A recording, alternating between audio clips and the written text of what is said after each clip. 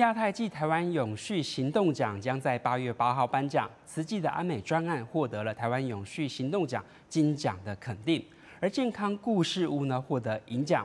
以安美专案来说，这项计划二零二零年的三月开始推动，强调的是安稳家园、美善社区，职工走入偏远社区，替长辈加装安全的扶手、照明设备，避免他们跌倒。过程当中，发现有些长辈需要关怀，于是呢就变成了长期的陪伴。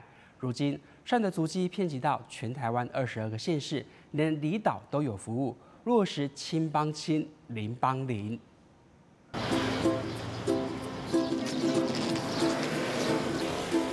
啊，这二号，还边四号，啊，上这内底倒一支嘛，对不？啊，个个两支倒着，洗身躯行啊嘛。对啊装设一只扶手前后不到十分钟，但对八十多岁独居的碧霞阿妈而言是珍贵的贴心。好势啊！会啊，好，叫叫我背的不？足好势，叫我用的啊。看起去查人嘛来，关心老伙仔啦，啊，那手花啦，涂骹出啊啦，真欢喜啦。目前几千只都忘记了。哎。数不出来，数不出来，真的很多很多，真的。独居大坑山区，八十五岁的徐玉秀阿妈也因为安美计划为她打造厕所浴室，让她的生活比较舒适。那个帮忙叫阿姨，呃，啊，厝多了好势，足赞的，足赞。啊，有方便吧？有啊，有啊，哎，啊欢喜哈，哎，哦，啊你家己爱顾好好，哎呀哎呀。双老。相依，或者是孤老独妻，真的是很需要。生活起居啦，要会当平平安安啦，厝内底的设备呢是足重要的，所以我真感恩。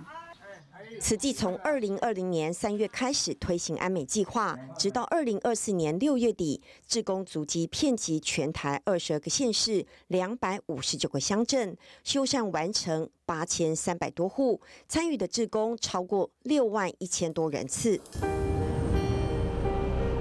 还漂洋过海来到离岛，这里是妈祖连江县北干乡，这里可以放下来哈。